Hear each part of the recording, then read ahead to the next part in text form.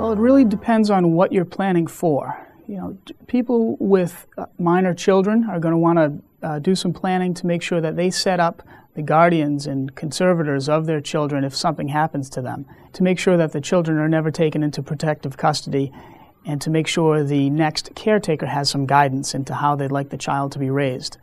Um, people without minor children start planning to eliminate or minimize their estate tax. So that one sort of depends on the size of your estate and the exemptions at the time. Uh, some people start planning to avoid probate, which can be done at any time, or to protect assets for their children. Some people start planning to protect assets from the cost of long term care. That one, in most cases, you need to start it five years before you need the long term care. So the difficulty there is we never know when we're going to need the long term care.